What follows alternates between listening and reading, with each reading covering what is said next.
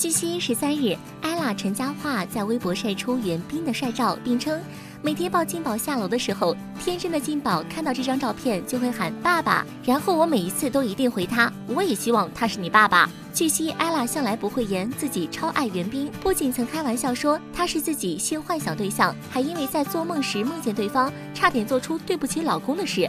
网友们纷纷回应道：“你画十七年如一日的爱着袁彬。”这么多年了，姐姐还是爱着袁彬。非凡娱乐整理报道。